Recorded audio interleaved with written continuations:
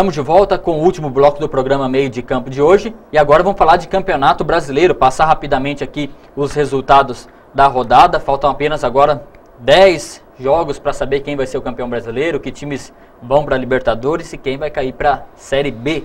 Passar aqui o resultado, começando pelo Fluminense, venceu o Goiás 2 a 0.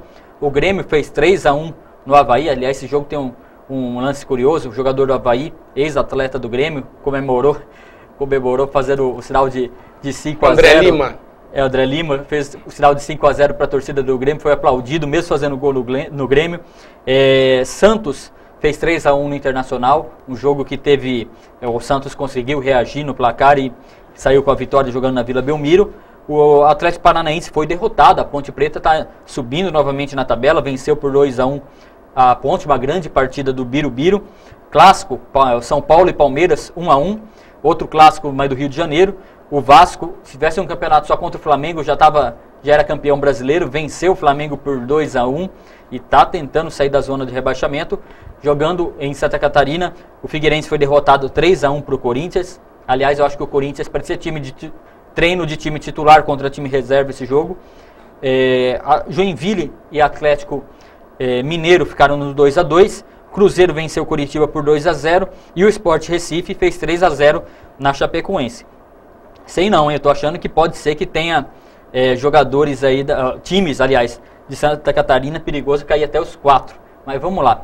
A gente foi às ruas de Votuporanga para saber um pouquinho do que o torcedor tá achando aí da, desse lance, né, que culminou do empate do Palmeiras no finalzinho do jogo. Essa falha, na minha opinião, uma falha é, bizonha do Rogério Senna Senna, a gente cobra muito dele porque ele sabe jogar com os pés. E a gente quis saber nas ruas de Votuporanga, a Stephanie Barbará perguntou para os torcedores qual a opinião deles sobre esse lance. Será que o Rogério Senna pisou na bola mesmo? Vamos ver. Olá, Josiano, e olá para você que acompanha o programa Meio de Campo. Hoje nós viemos às ruas de Votuporanga novamente para saber a opinião do torcedor sobre o clássico de ontem, São Paulo e Palmeiras. Será que ontem houve falha do Rogério Ceni? Isso a gente vai saber agora. Foi falha dele. Foi. Eu acho que falou ele e o zagueiro que atrasou, né? Que a obrigação do zagueiro era chutar para frente, não era para recuar a bola para ele. Foi só culpa dele, né? Só culpa dele, que podia ter chutado aquela bola mais forte mas a falha é humana também, né? É, não vamos crucificar o Rogério Senna, né, agora. Podia ter saído do gol, né? É, não podia ter saído do gol, tinha que ter ficado lá paradinho hora que ele pegava a bola. Ah, eu achei que o Rogério Senna, eu como bom palmeirense, eu tô achando que ele tá querendo vir jogar no Palmeiras, onde ele... Verdade, porque ali, se bem que ele tem crédito no São Paulo, né? Mas fazer o que? O erro é humano, acho que não teve maldade nenhuma no lance, não. Mas pra nós foi bom, né? Tá aí a opinião do povão na rua. Você viu, né, Jefferson? O pessoal é, não perdoa muito o Rogério Senna, não. O é, que, que você acha? Você acha que foi uma falha mesmo? Eu vi comentarista na televisão ontem falando que não foi falha. Meu Deus. Não, é, primeiro que eu ouvi dizer que, é, que raio não cai duas vezes no mesmo lugar. No caso do Rogério Senna, acho que caiu, né? Mas, enfim, brincadeiras à parte, o, o Luciano, acho que foi uma e do falha. Robinho também, né? Exatamente. Ah, mas eu acho que, é, brincadeiras à parte, foi uma falha, né? Não tem. Assim como disse o Pato, né, no, ao final da partida, acho que o lance era para dar aquele famoso chutão, né, Orlando? Aquele não que é o zagueiro. Feio, né? Aquele que o zagueiro tá numa fazenda, chuta e a bola cai na outra fazenda, né? Não é feio, né? Não, não, não fica feio, não. Mandar lá no anel superior do Morumbi essa bola, né? Dá O- aquele bicudo. Com certeza. Não, mas é, né, nada lógico que vai apagar né, a história do Rogério Senna no São Paulo. A gente sabe que ele é um grande ídolo tricolor, mas falhou, né? E tanto que no final do jogo ele, ele assumiu a falha, falou, não, realmente eu, eu falhei, né? Isso, isso que faz o, o, o cara ser grande, mas que ele falhou, ele falhou e custou, é, custou a vitória do São Paulo, né? Orlando, São Paulo tá jogando muito bem. Eu sou palmeirense, mas Palmeiras jo- jogou, jogando muito mal e o sistema do São Paulo ali chegando várias vezes com perigo. Aquele jogador Rogério é, muito habilidoso, aquele atacante, dando muito trabalho para a zaga do Palmeiras. Fernando Praz querendo entregar toda hora, enfim. A vitória teve na mão do São Paulo. Quando aí sofre um empate no finalzinho desse jeito, nessa situação, como que é o ambiente do grupo, cara? É, é bem tenso, porque o time do São Paulo é muito bem montado em todos os setores. São Paulo tem um time muito forte, está conseguindo agora encaixar o futebol.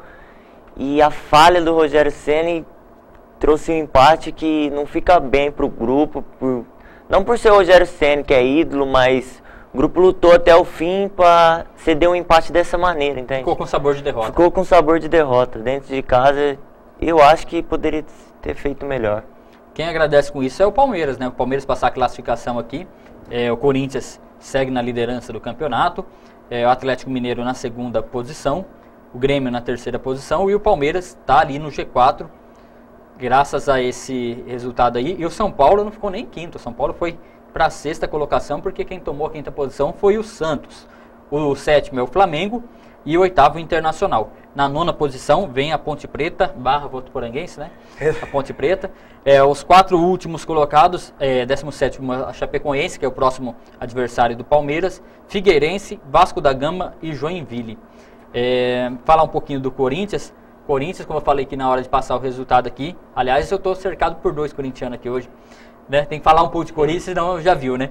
O Corinthians, ele, na minha opinião, parecia um treino titular contra a reserva. O Corinthians jogou com uma facilidade enorme. Primeiro gol, até que foi um gol é, de méritos do Elias, só que o restante do. Aí o Corinthians jogou do jeito que ele gosta mesmo. Ligou aquele contra-ataque rápido. Corinthians muito bem postado em campo. É, dá gosto ver o, o Corinthians, no atual momento do Corinthians. E sem dificuldade nenhuma fez esse 3 a 0 né, Jefferson? É, agora tem um detalhe, viu, Luciano? É, os três gols é, do Corinthians, né? Coincidentemente foram marcados pelos três jogadores que vão para a seleção, né? Que é o Elias, o Gil, né? E o, o, o Renato Augusto. Renato Augusto. É, era para ter sido mais.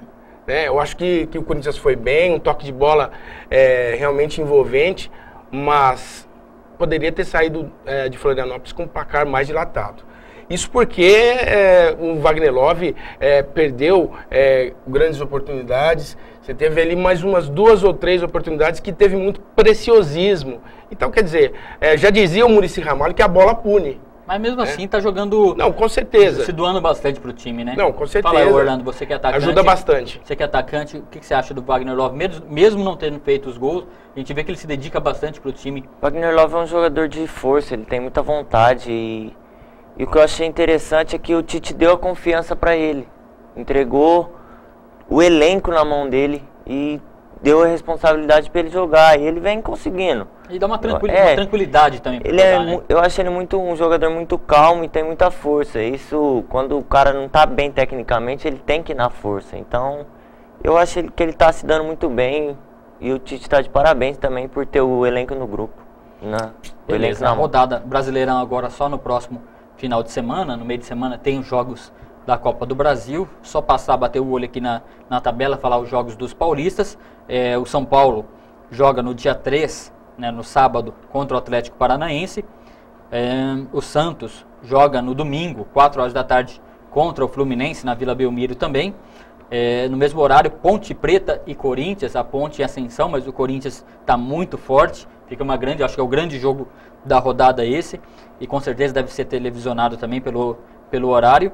E seis e meia da noite, em Santa Catarina, o Palmeiras enfrenta a Chapecoense. É o grande jogo mesmo, né, Jefferson? Com certeza. É, lembrando que a Ponte é, começou bem o campeonato, né, Luciano? Depois é, deu uma oscilada, caiu um pouquinho, agora está se recuperando, né?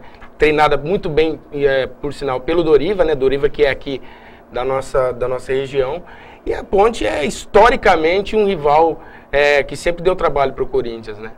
E lá em Campinas a coisa complica ainda mais. Jogo, jogo fácil, não. Jogo difícil, Orlando? Jogo difícil. Ponte vem de uma crescente muito boa, ganhando jogos fora, ganhou do Goiás lá. Agora ganhou mais um jogo fora importante do Atlético Paranaense que estava lá em cima. Vai ser um jogo duro. Atlético Paranaense que demitiu o treinador Milton Mendes. É mais um que está aí é, na fila do FGTS. Tá, Serginho, estamos terminando já o programa de hoje. Como eu disse no início, é um programa especial. Hoje todo mundo aqui da, que ajuda a fazer o programa meio de campo está muito feliz. É o programa é que a gente hoje lembra, né, os dois anos de que toda segunda-feira você em casa é, liga a televisão e tem as notícias do esporte votuporanguense aí na tela da sua TV. E a gente, pra gente é uma, uma missão muito grande continuar com esse trabalho e continuar com esse trabalho com qualidade, sempre mostrando as notícias do futebol amador, de outras modalidades esportivas, votuporanguense e também repercutindo com o pessoal aqui da nossa terra, da nossa cidade, que, que rola aí no Campeonato Brasileiro também. Também agradecer ao Vartão e aos demais vereadores pela homenagem dessa noite na Câmara Municipal. E a gente volta na semana que vem para falar um pouco sobre isso também, vai ter uma reportagem sobre isso. Agradecer aqui a presença, então. Jefferson, mais uma vez, obrigado. Sempre muito bom trazer você aqui no nosso estúdio. Obrigado, Luciano, mais uma vez. Parabéns, TV Unifev. Parabéns, meio de campo. Beleza, Orlando, legal você aqui no programa, primeira vez. E a gente, eu já via você nos treinos da Votuporanguense, mas nunca tinha, tive a oportunidade de conversar, pessoa bacana. E tomara que você tenha, que brilhe o caminho teu como jogador aí no esporte e leve sempre o nome de Votuporanga. Obrigado, Luciano, obrigado pela honra de apresentar no programa de dois anos. Parabéns para vocês, muito bom trabalho. E vamos crescer, sempre dando maiores esforço para o esporte de Votuporanga. Beleza, e a gente fica por aqui então, volta na segunda-feira que vem com um pouco mais de tudo né, do esporte votuporanguense. Até lá!